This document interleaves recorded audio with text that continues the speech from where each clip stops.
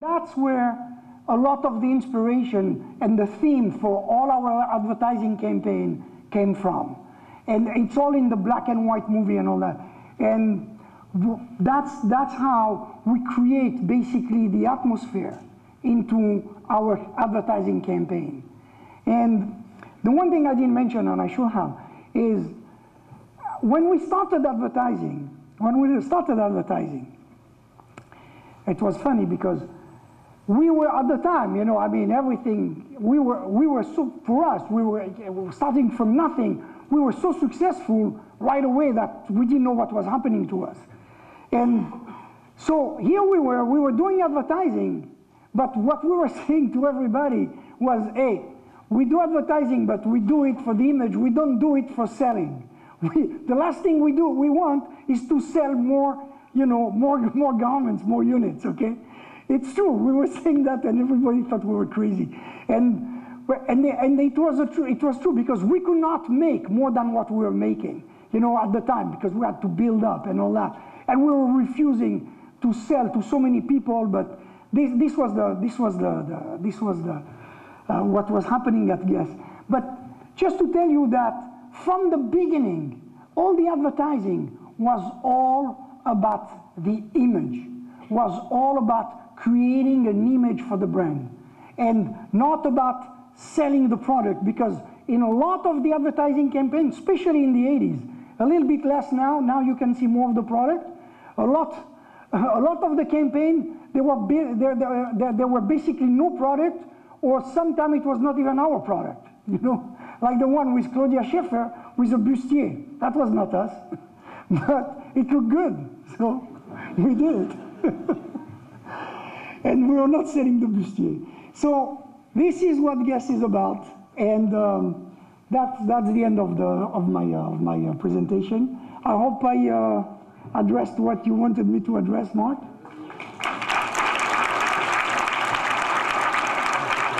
fabuleux, c'est fabuleux. Euh, donc, moi, là, je, je, je dirais des, des, des, questions. Yeah, okay, so now, uh, you know, uh, please, please feel free. Yeah, yeah. So, um, I, am I'm, I'm struck about our professor here because I mean he, he, he gives a presentation like uh, like a, a, a, an all world college professor. Bravo. Anyway, do we have some questions out on the floor? How about right here in the beginning? Excuse me? How do you see the recession taking retail right now? Right now? It's tough. It is, it is tough. And, but I tell you, we, we've seen, we've seen other recessions and we went through other recessions. And uh, again, what you have to do today, and this is what we are doing, we say, listen, there are things that we can control and things that we cannot control. So as a retailer, we have, and anybody in the industry, we have to focus on all the things that we can control, that we are doing, okay? And make the best out of everything. You have to be aware of the crisis and, the, you know, so you, you do, what you do is you control your inventory, you control your expenses, and you, you go through the crisis. So right now, the recession, it's to be, unfortunately, it's going to it's gonna last quite, quite a bit, okay? And uh, uh, we have to all be very careful and to, to manage basically through the, through, the, through the crisis, from what I was saying. We have to reduce our risk. We cannot take as much risk as we used to, okay? and control our inventory and control, control everything we're doing. We, we, uh, we slow down the expansion.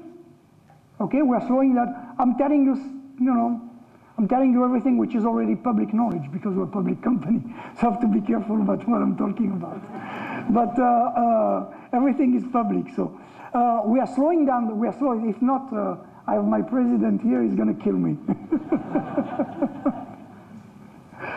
uh, we're slowing down the we're slowing down the expansion, and uh, we are reevaluating all all our stores and all that to see which one is sustainable, which one is not, and this is this is what we're doing. But it's gonna be it's gonna be. I think most of 2009 is gonna be tough.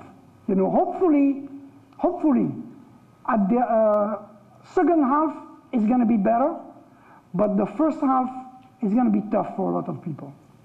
Okay, and uh, again, what what's what's lucky for us is that we have really diversified our business and really by going international, so we are, we are not as much exposed as a company to the recession here. We are, we are definitely feeling the recession here, but we are not impacted as much as other retailers who are purely in America. Okay? Is that answering? Anybody else? Here? I want to know when the company started, when Guess started in 1981 and 1982, how did the four brothers agree upon the name? I was waiting for that question. Anyhow, okay. We, we were looking for a name because we didn't want to, we didn't want to use MGA, so we were looking for a name. And uh, we we were looking, you heard my brother earlier in the video saying that three of the brothers basically didn't speak any English. Okay? I was the only one who was speaking a little bit of English. But three of us didn't speak English. So we wanted a name which was very short and very easy to pronunciate both in French and in English. okay? So we were, well, we started, you know, there are so many things.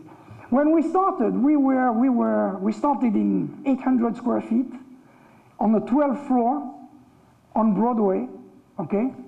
On Broadway here in Los Angeles, in, in, uh, in two offices. And if you look well at the logo, the triangle, on the small triangle, there's two numbers there, 1201, 1203. For you to know, these were the number of the suites where we were, where we started. 1201, 1203 was the suites in, uh, on Broadway at, in this building. Anyhow, so we were there, and one morning, very early in the morning, one of my brother came and said, I think I found the name. Say, so I told him, what is it? He said, guess. so I start, and true story.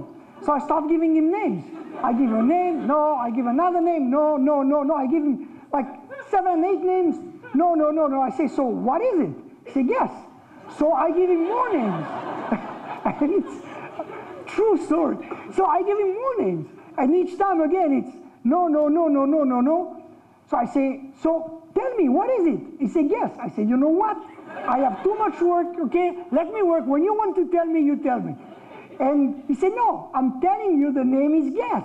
So I said, oh, I love it, you know. So, and, and that's how, and again, our lawyer, no, no, no. It's a common name, you cannot register, you know, don't even try. Again, when you want to do something, do it. Okay? You find a way to do it. The way we found to do it? Question mark. Okay? Guess with a question mark, then we could register. Okay? Now, the thing is though, when we started though, so, so here we are now, the, okay, we call the company Guess, right? We call companies suppliers, uh, okay, you know, to, to, to, to ask for something. Which company? Guess. Boom. they were hanging up on us all the time. So then we learned and we say, Guess jeans, you know. Okay, so they, then, then they knew. So that's how we find the name. And let me tell you, the name, the name, to tell you in life, to be aware of what's going on around you. How did he come up with this name? We were, we were going downtown every day, and we were driving on Olympic Boulevard, going downtown. And at one, one, at one of the traffic lights, there was a big billboard, a, Ma- a McDonald's billboard. And it, it was, in, in, uh, in 82, it's when they, they introduced the, the Big Mac, the double one. And the, the, the thing was, guess who has the biggest hamburger? And the, the word guess was bigger than the rest of the sentence. And as we were driving there, so this struck my brother, you know, as, uh, because we were stopping there. And so that's how we come up with the name Guess. Okay? Things in life. Down here? Um, is it difficult to work with your brothers? Because you have to like live with them and work with them.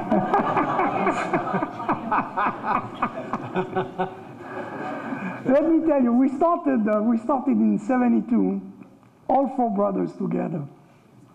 Again, from scratch, right? From nothing. And uh, it's, it's a challenge. It's a challenge, to say the least. Because it's a challenge, it's great because we're all brothers.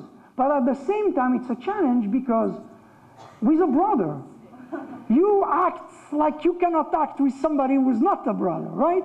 You know, you, you can tell anything, you can fight, you can argue, you know. So it's, it, is, it is a challenge, but at the same time, it was our strength. It was, it was, our, it was our strength all along.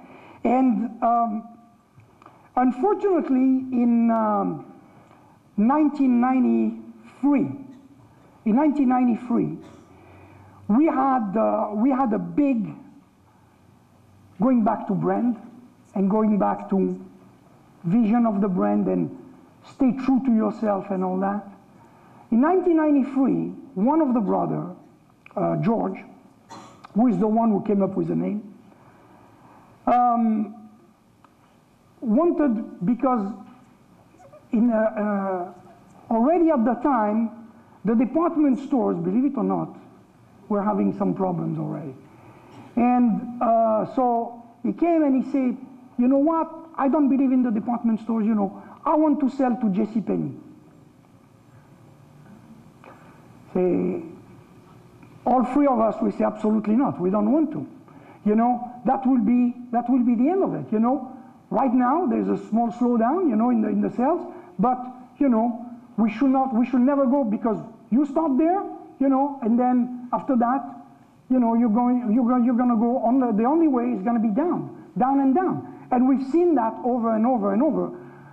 You know, again, you've, you've been, you're, you're probably, most of you, you're, you're probably too young, but when we started in the business, um, the big, big denim brand, Sassoon, Jordache, Sergio Valente, all names which don't exist anymore today.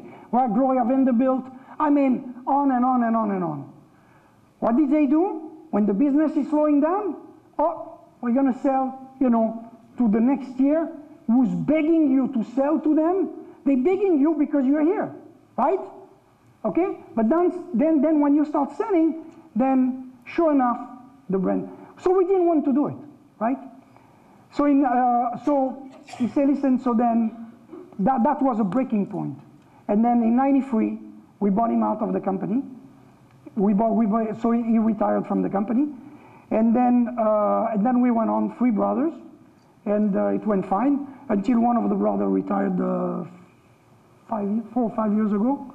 He retired, and that's it. So now we're two brothers in the company. But it's great to work with brothers. Challenging, but it's great. Uh, in the back there? Oh, where? Yeah, you. Oui. In French.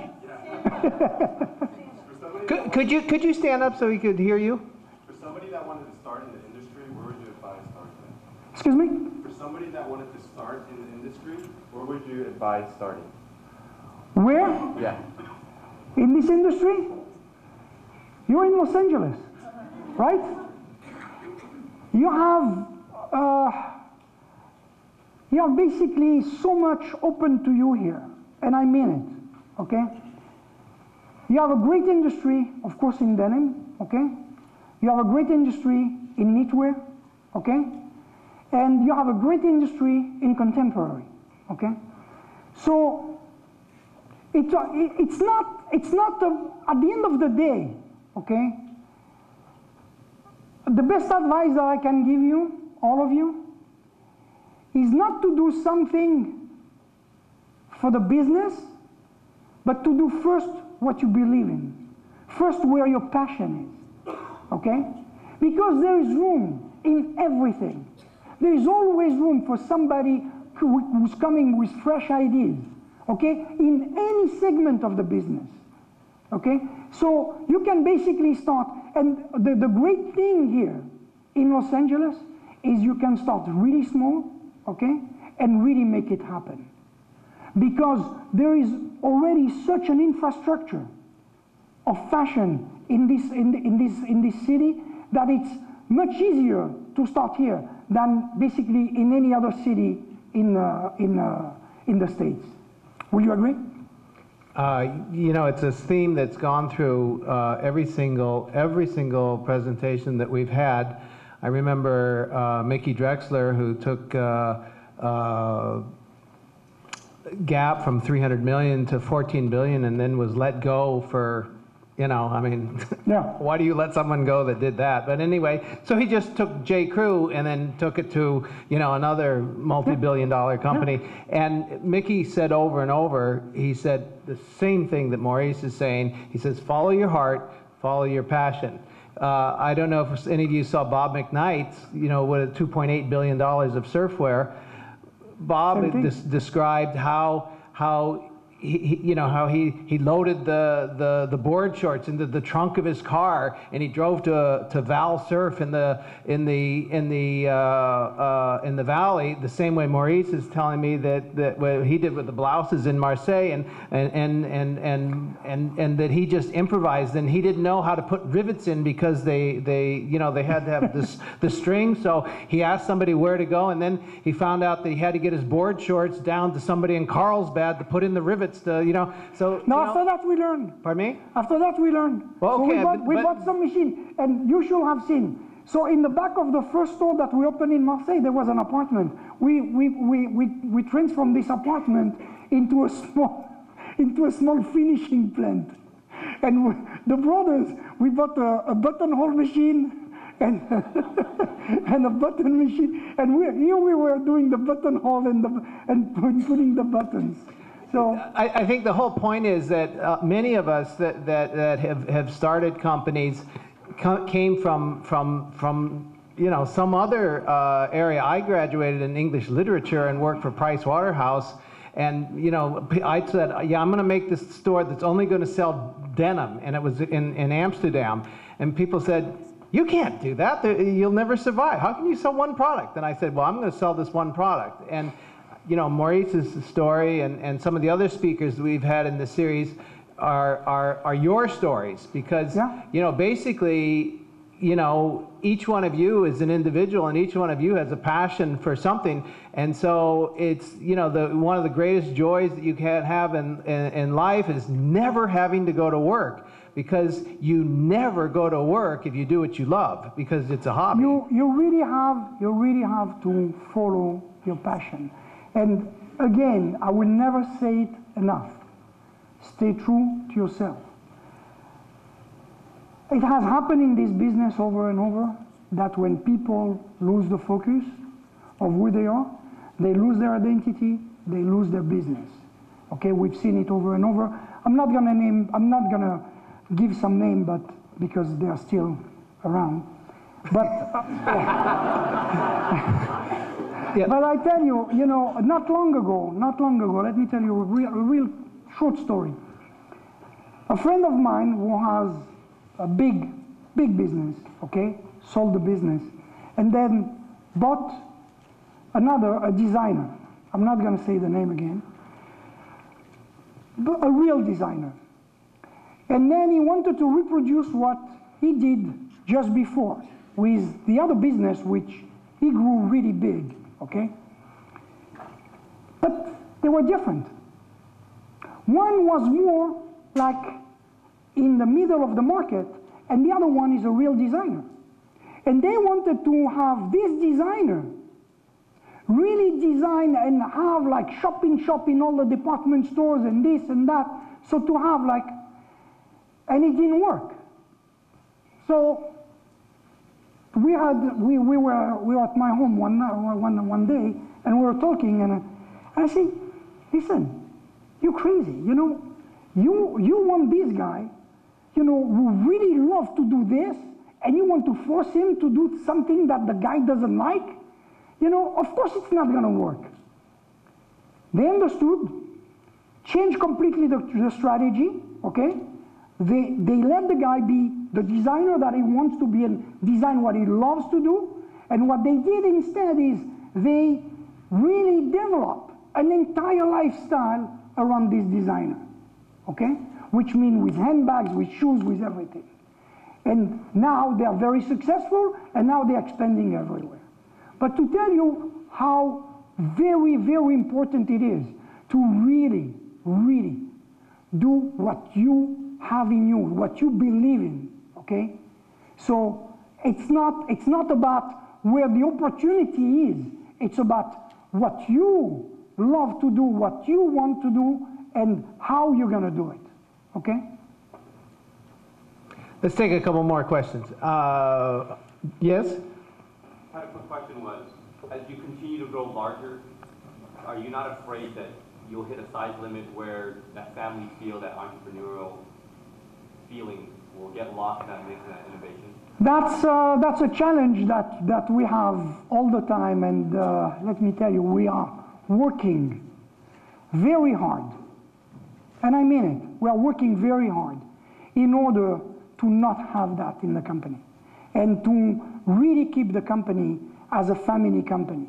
And we are, that's why we have the open door policy, and then we have seminars for, uh, one is coming, uh, when is it? In March, right? It's in March.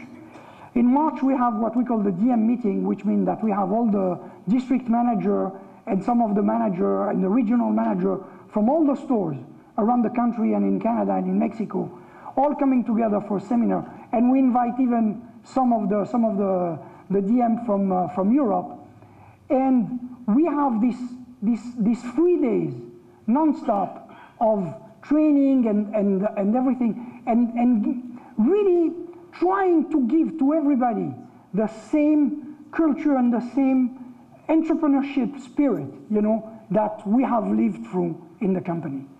And we are, we are expanding now. We are, we, are, we are all over the world, but as I said, you know, there is so much more to do still. Okay? Let's take one last question. Yes, in the back? You, you? Think, could you stand up? Why did you say that uh, it's a little bit difficult to target Chinese market because it's supposed to be a very large market? It is. It is. It is a very large market, and what the reason I'm saying that is because we we really have a lot to learn because we started only last year, okay, and it's very different. It is very different from a brand point of view. Don't forget, we are not Louis Vuitton. We are not Christian Dior. You know, we are just a brand, right? And for brand, it's it's kind of it's kind of difficult there because the market is not open yet to just a regular brand. You know, it's it's starting, and that's why we we, we, we, we have open stores in, in Shanghai, in Beijing, in, in, in quite a few. Uh, we have now, I think, 17 or 18 stores. You know, which in a year it's it's it's already you know it's already good, but we are we are learning. We are we are we are learning there you know what is exactly the right mix of product and what really the the, the, the customer really really want there. So it's a, it's a learning process for us. It's and it's the, the reason i'm saying that is because as much as hong kong is part of china it's very different from china. And we thought that it's true. Main, mainland china we, we wanted to run it the same way we run our stores in Hong Kong, and it's very different. So that, that's what I'm saying. So, in probably in a year, I will know more about it. Maurice, it, tonight was really, really special, and uh, what we really try and do is to, obviously, we're in an academic institution, the University of Southern California, which is an academic, academic environment, and what we try and do in this lecture series is to bring the real world to the to the academic world and to make a marriage of these and to help the the students and the prospective professional people to make the transition into the uh, into the real world by by having people such as yourself come and share with with with everybody uh, you know some some some real life experiences and and you know the real the real deal and I just uh, must say that you know tonight y- you've just done a, a brilliant job and I think that Thank you.